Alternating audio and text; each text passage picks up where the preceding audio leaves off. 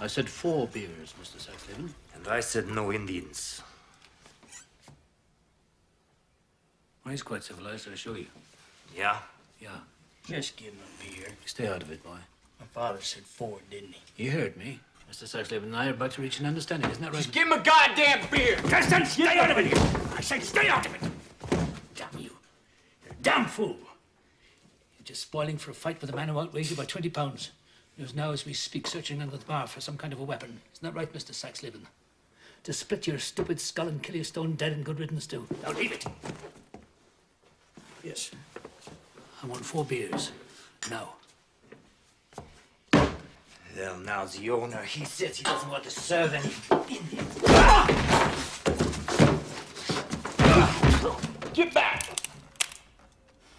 Now, do you see this man? Do you?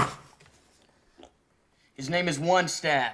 He is a venerated elder of the Cree Nation and has counted coup on hundreds of his enemies. He is our friend. He is thirsty.